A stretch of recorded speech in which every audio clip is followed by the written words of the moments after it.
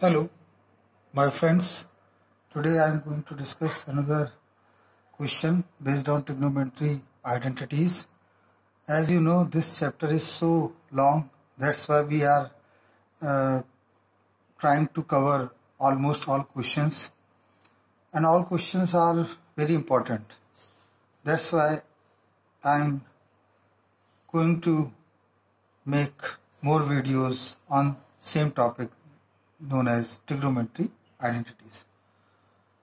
I hope ये video आपको काफ़ी पसंद आएगा और आप इससे काफ़ी कुछ सीखेंगे। आइए स्टार्ट करते हैं।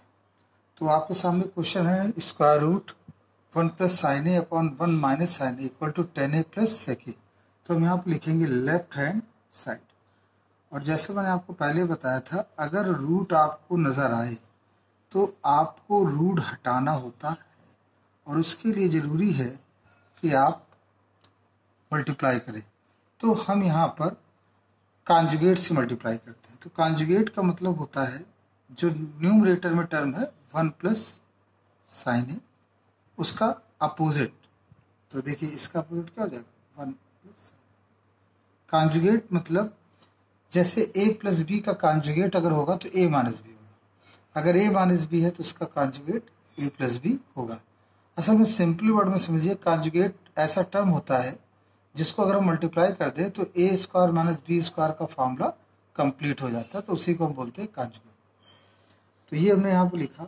आइए, फिर चूँकि ये दोनों सेम है, इसलिए ये इंटू हो जाएँगे और ये आ जाएगा स्क्वायर अपॉन में आप लिखेंगे one minus sine square A फिर ऊपर से स्क्वायर रूट हटा, कितना आया?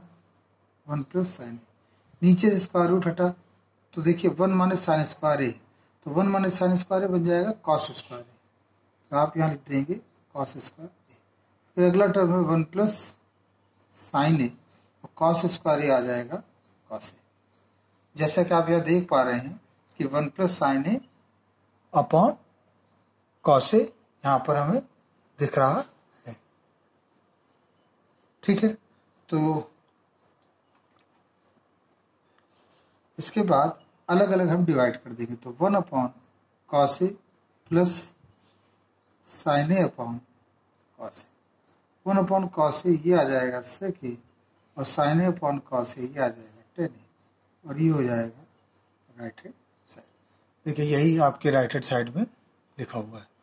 तो आप क्वेश्चन बहुत ही आसान था। इसका एक स्टेप आपको याद रखना क्या? कि हमें कांजुगेट से मल्टीप्लाई करना है, तभी ये सॉल्व आइए स्क्वायर रूट की अगली सीरीज़ में हम एक और स्क्वायर रूट का ही क्वेश्चन लेते हैं।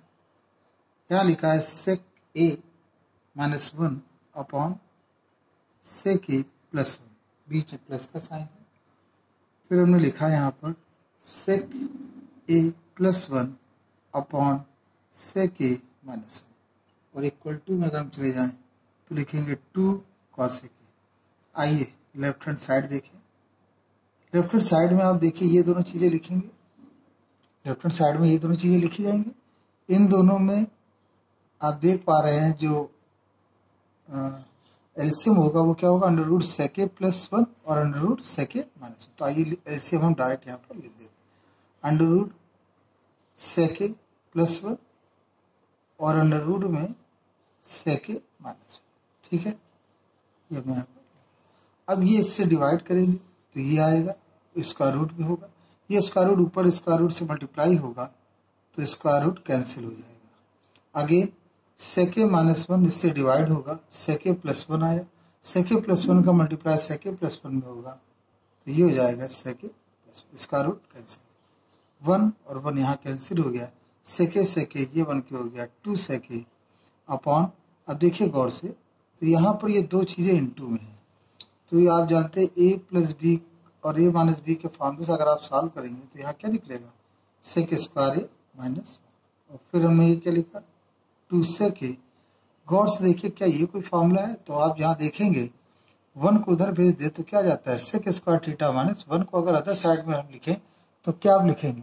Sec square theta minus one तो दैट बिकम्स टेन स्क्वायर तो यहाँ टेन स्क्वायर थीटा ना लिख के हम यहाँ क्या लिखेंगे? टेन स्क्वायर ए ठीक है?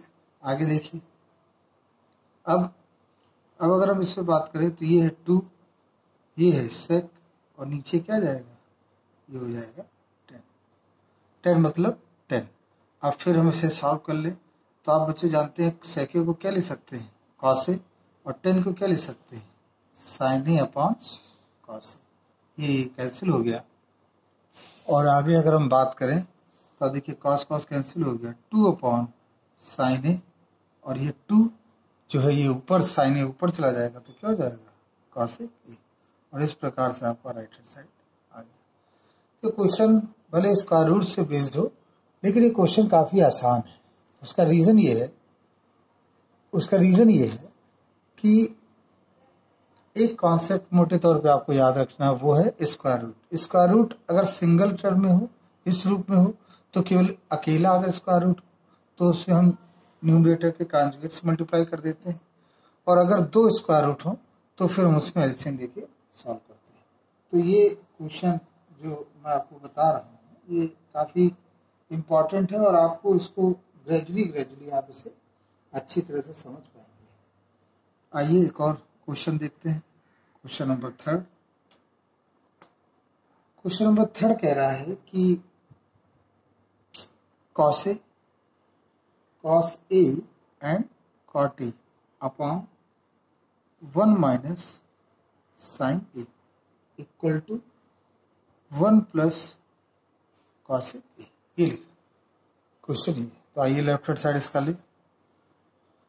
कॉस ए और cot A left hand side इसलिए ले रहे हैं क्योंकि लेफ़्ट हैंड साइड में टर्म्स ज़्यादा हमें दिख रहे हैं, इसलिए हमने लेफ़्ट हैंड साइड को टेक ओवर किया। अब यहाँ पर देखिए तो कॉस की जगह तो आप कॉस लिखा रहने दें, लेकिन कॉट की जगह हम कॉसे अपॉन साइन लिख सकते हैं। और अपॉन में देखिए क्या लिखा है? वन माइनस साइन देखिए हालाँकि इससे कुछ हमें खास लाभ नहीं मिला कि हमने जो कन्वर्ट कर दिया, लेकिन ठीक कर दिया तो कर दिया। हमने फिर इसको उसी टर्म में लिख दिया। और फिर देखिए क्वेश्चन हमारा वहीं आ गया। अब हम कुछ दूसरे एंगल सोचेंगे। देखिए वन माइनस साइन ए तो हम क्या करेंगे?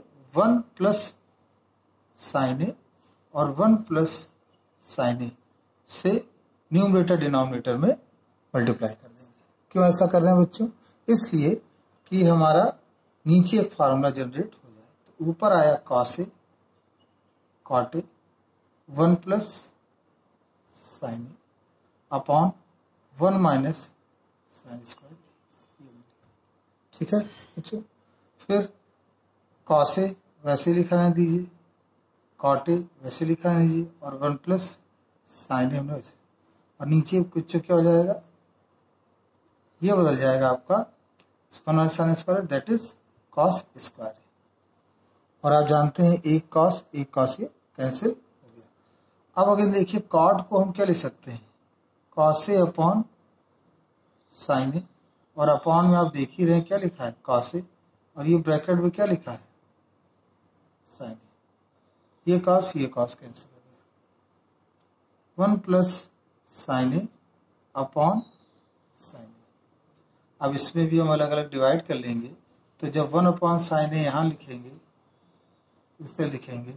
और sin a upon sin a that becomes 1 1 upon sin a that is cosec a. This is 1 and this is your answer. तो इस प्रकार से हमने ये क्वेश्चन आपका सॉल्व किया। ये तीनों क्वेश्चंस आपके बहुत ही अलग थे और आई होप ये क्वेश्चन आपको क्लियर हुए होंगे। इस वीडियो को लाइक करिए और लोगों को शेयर करिए। जो भी ट्रिग्नोमेट्री सीखना चाहते हैं I hope they will enjoy it So let's stop here. Hope you like it. Thank you very much.